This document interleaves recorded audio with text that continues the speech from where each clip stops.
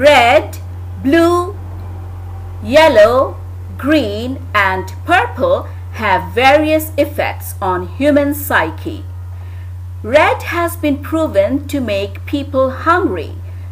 This is the rationale behind fast food chains' red roofs. Blue and green have a calming effect. Doctors, lawyers and salespersons often will wear the colors blue and green in an attempt to have their patients, clients and customers trust them more. Purple is similar in that it produces a calming effect, but instead of invoking trust, it promotes cognitive activity. Some study rooms in schools are painted with a light purple hue to encourage intellectual and academic activities.